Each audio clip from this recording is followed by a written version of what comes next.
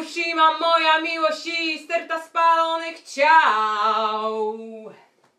Gosiu, ponieważ to jest mm, projekt Mój Sąsiad Artysta, to zaczynamy od miejsca. Jak się tutaj znalazłaś? Czy to była zaplanowana podróż właśnie tutaj, w te strony, w powiat legionowski? Bo urodziłaś się w Warszawie i byłaś warszawianką. Tak, e, urodziłam się w Warszawie, mieszkałam 25 lat w Warszawie, po czym e, trzeba było znaleźć jakąś pracę, jako że byłam po szkole aktorskiej Machulskich, to ta praca chciałam żeby była artystyczna, więc wysłałam CV do wszystkich e, możliwych domów kultury w Warszawie i w okolicach i odpisał mi tylko jeden w Jabłonnie.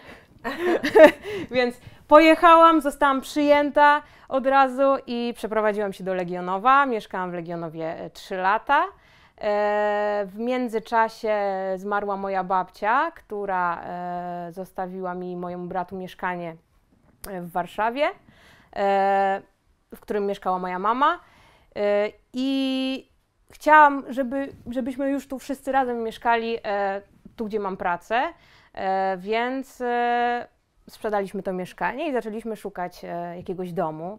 Najpierw szukaliśmy go w Legionowie, kupiliśmy dom w Legionowie, ale okazało się, że nie miał fundamentów, więc go docelowo nie kupiliśmy. I pewnego dnia przyjechaliśmy na Wierzbice E, w tym domu mieszkało starsze małżeństwo i to jak weszła już moja mama i jak e, ta pani, co tu mieszkała, przywitała nas ciastem i, i herbatą, to już było tak, to będzie nasz dom. E, tu było po prostu ciepło, rodzinnie. To nie były domy z katalogów, to nie były jakieś takie domy, gdzie ludzie nie mieszkali i wszystko było pięknie wymalowane, wyremontowane, tylko to po prostu żyło. E, I kupiliśmy ten dom i tutaj e, e, mieszkamy. Jest to moje miejsce na ziemi, tak myślę, dlatego że ja jestem Lubię zgiełk, oczywiście, ale trzeba było w którymś momencie wystopować i pooddychać trochę świeżym powietrzem. No właśnie, powiedz mi, jak ty, dziewczyna, która była tak głęboko też w środowisku warszawskim, tak, w przodowniku, w całym tym pankowym zamieszaniu, jak, jak się odnalazłaś na prowincji? To jest duża zmiana. Ja też jestem człowiekiem prowincji i to cenię, ale, mm, no ale to jest taki kompletna zmiana tonacji, prawda? Pewnym momencie jest tego za dużo. Za dużo jest ludzi dookoła, za dużo jest bodźców dookoła, za dużo jest e, wszystkich mediów dookoła. I e, kurczę, coś, coś, mi, coś mi nie pasowało. Ja lubię pracę z ludźmi, lubię, e, lubię występować, lubię, lubię szaleć na scenie, ale brakowało mi takiego wyciszenia. I dla mnie e, mieszkanie tutaj to, jest, e, to są takie wakacje. Ja jak wracam z pracy i wjeżdżam do Serocka, to tak jakbym jechała na urlop. To jest pusta głowa, tutaj e, życie jest wolniejsze zdecydowanie i nawet e, przy, przy, zmianie, która nastąpiła, że, że, że, że, już mam to życie rodzinne i, i dziecko, gdzie, gdzie niby pędzi ten czas, to jednak tutaj można odetchnąć i naprawdę ten czas się mega rozciąga. Mhm. To słyszę od ludzi, którzy mieszkają właśnie poza miastem i sama się z tym zgadzam, bo też mieszkam pod lasem, że właściwie w tych miejscach można czuć się cały czas jak na wakacjach, tak. prawda? Mimo, że się pracuje. A powiedz jeszcze, jak y, y, mówiłaś mi, że jesteś z rodziny, która, w której nie ma takich tradycji artystycznych albo takich wzorów. I jestem ciekawa, w którym momencie swojej drogi edukacji, swojego w ogóle y, dorastania do bycia dorosłym człowiekiem, zrozumiałeś, że nie uciekniesz przed tym? To znaczy może tak, moja taka najbliższa rodzina, dlatego że e, czy moja mama, czy e, mój brat są związani bardziej z budownictwem, architekturą e, niż e, jakąś artystyczną pracą, chociaż moja mama też jest artystką, e, też robiła swojego czasu jakieś grafiki e, i, i, też lubi działać artystycznie, ale za to e, moja dalsza rodzina, prababcia, e, w okresie międzywojennym miała e, własny e, zakład, który e, projektował i szył ubrania. I ta moja prababcia w ogóle była mega ekscentryczna. miała małpkę, w domu. Miała bardzo dużo kotów, miała bardzo dużo psów i, i takie dosyć życie w, w, trochę w futrach i nawet brylantach. Potem przyszła wojna i, i mm, jakby to wszystko musiało zniknąć. Więc e, gdzieś tam jakieś tam artystyczne korzenie, korzenie mam. E, u mnie się to tak naprawdę zaczęło dosyć wcześniej, bo ja już wiedziałam jako mała dziewczynka, że ja będę miała dużo tatuaży i będę gwiazdą roka. I to tak miało być. E, ja nie miałam być księżniczką, a nawet jako, jak księżniczką, to ta księżniczka miała być gwiazdą roka w tatuażach po prostu. I to byłam ja od zawsze. E, lubiłam inaczej wyglądać, e, lubiłam inaczej się zachowywać. E, i, I, byłam po prostu też inna niż e, większość moich, e, moich rówieśników. E, masz wykształcenie aktorskie i teraz jak tak patrzę na Ciebie całościowo, to mam wrażenie, że Ty jesteś w różnych rolach w życiu. Instruktorki, pani zaraza, tak? Mama. Dużo tych alterego jest. E, tak, i, e, i potrafię też być e, ostra i potrafię, zbliża się na przykład termin e, wystawiania jakiejś sztuki z moimi seniorami. E, wchodzi e, troszeczkę tej niepewności, musimy dopiąć wszystko, więc wszystko jest robione szybko, wiadomo seniorzy też to, to, nie jest, y, to nie są ludzie tak w kwiecie wieku, że mogą wszystko szybko robić, a ja bym chciała już na teraz i ten, e, więc trochę taka moja e, natura wybuchowa tutaj potrafi też się ukazać. E, jestem panią zarazą, to jest, to jest w ogóle postać, gdzie wchodzę na scenę, Gośka, jest, Gośka zostaje poza sceną, wszystkie inne moje alter ega zostają poza sceną i to jest w ogóle inny świat. Ja wchodzę w głąb tak naprawdę swojej głowy, w jakieś takie e, totalnie, e, e totalnie emocje takie już u podłoża e, e, czasami jak zwierzę nawet. I to jest, to jest jedyny tak naprawdę moment w życiu, gdzie ja mogę pokazać ten taki mój, moje wnętrze, które jest e, naprawdę bardzo gdzieś tam z tyłu ukryte. E, I ja się mogę rozładować, e, całą tą swoją agresję wyrzucić, wszystkie dobre emocje, wszystkie złe emocje wyrzucić, żeby się też tak oczyścić z tego.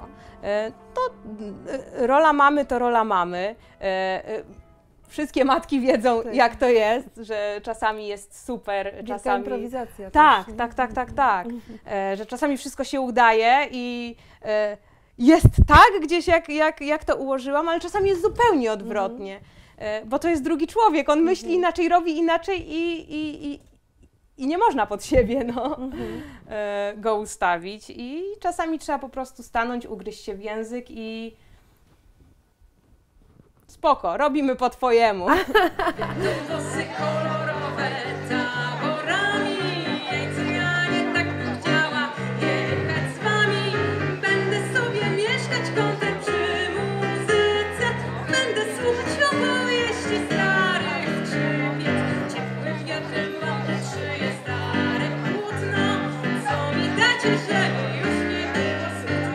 A powiedz o tych seniorach. Czy to też był jakiś plan, czy to Cię zaskoczyło? Jak się odnalazłaś w tej roli, e, będąc instruktorką ludzi, którzy mają każdy swoją ogromną historię, pewnie swoje przyzwyczajenia, swoje takie mocne e, rysy już charakteru. E, jak oni Cię przyjęli i czego Ty się od nich uczysz? Mm, jak dostałam pracę w Jabłonnie, to e, jeszcze wtedy e, dyrektor e, powiedział, że to będzie praca głównie z seniorami. I ja tak bardziej byłam tak nastawiona, że dzieci, jakaś młodzież, młodzież tak. I tak w sumie pierwsze, pierwsza myśl to była, ale dobra, mhm. okej. Okay. Ja lubię wyzwania i ja lubię być rzucona na głęboką wodę. Ja nie lubię podchodów. Tak ma być, Zobaczymy.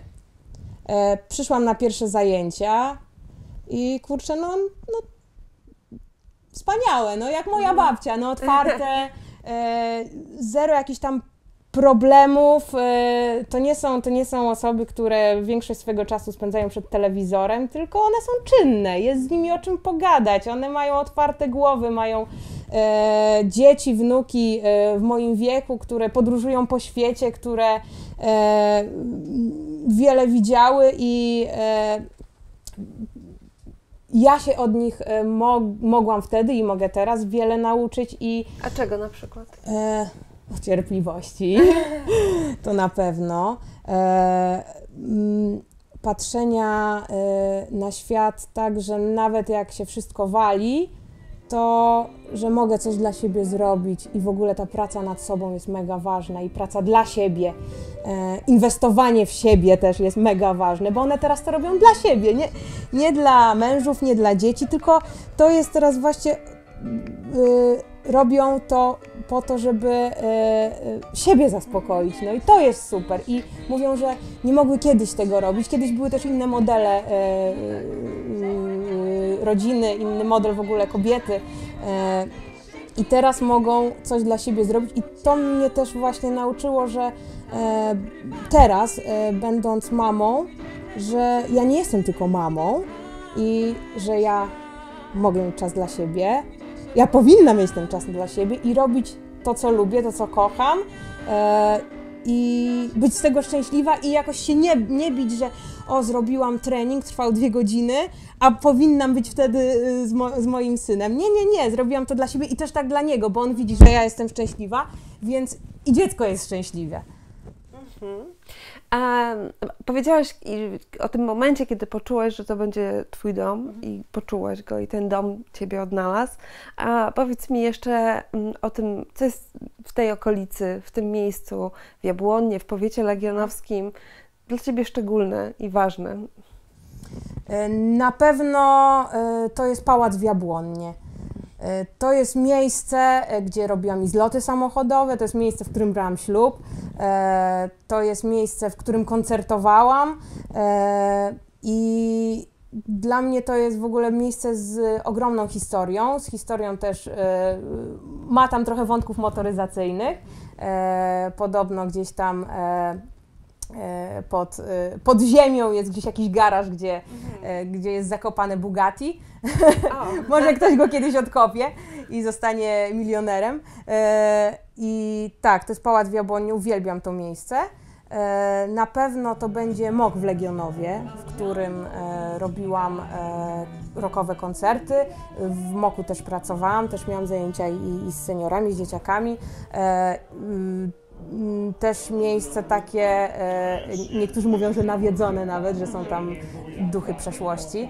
E, I myślę, że e, ogólnie tutaj te moje okolice, Wierzbica, Serock, lasy, plaża, Mm, jak miałam też troszeczkę tak jakby więcej czasu e, i, i, i mogłam sobie takie pozwolić na jakieś takie spacery e, bardzo, bardzo wcześnie rano, czy bardzo e, późno po południu, to właśnie sobie szłam w taki dzień, gdzie nie było w ogóle ludzi i dziką plażą na plaży w Serocku i, i też mogłam tak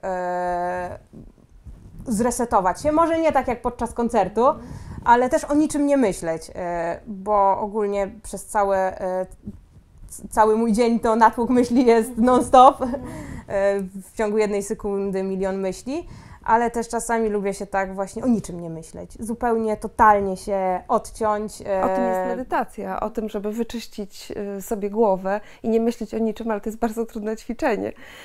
Trudne, ale ja w ogóle też posiadam taką umiejętność na wyłączenie się. Ja po, umiem wyłączyć się na przykład na dźwięki i jak jestem w miejscu, gdzie leci na przykład muzyka, której nie za bardzo lubię, albo jest duży harmider, to ja po prostu. Switch off? Tak. 5 sekund i nie ma, i nie słyszę. Widzę wszystko, jestem w stanie y, zareagować na jakieś sytuacje, ale totalnie odcinam. To z tego odcinam. powinnaś robić warsztaty też. Y, mogę o tym pomyśleć. Aha. Wyobrażasz sobie, że zostaniesz tutaj już na zawsze? E, nie wiem, bo e, gdzieś tam z tyłu głowy e, jest jakaś chęć wyjechania i zobaczenia świata. E, może jeszcze nie w tym, w tym momencie, e, ale jak już będę na emeryturze na przykład, to chyba bym wolała mieszkać w miejscu, gdzie jest non-stop ciepło. Bo ja uwielbiam ciepło. Ja y, jestem typowym e, e, e, m, człowiekiem, gdzie e, 30 stopni, 35 to jest temperatura, w której żyję. Poniżej 15 e, hibernacja i e, mogłabym spać i mogłabym obudzić się dopiero w maju. Więc może jakieś, e, jakieś cie- cieplejsze kraje, chociaż choćby Włochy na przykład. Augustowskie noce